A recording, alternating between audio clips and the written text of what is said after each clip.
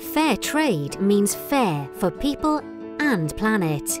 It means paying a fair price. So farmers and producers in low and middle income countries have a sustainable income to support their families and communities.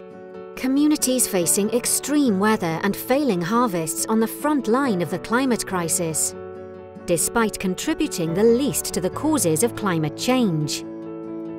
Wales is proud to be a fair trade nation, supporting fair trade projects around the world and through a grassroots community of fair trade groups and shops across Wales. We can all make a difference by thinking about the things we buy. From clothes and chocolate to footballs and face masks, there's more to fair trade than coffee and bananas.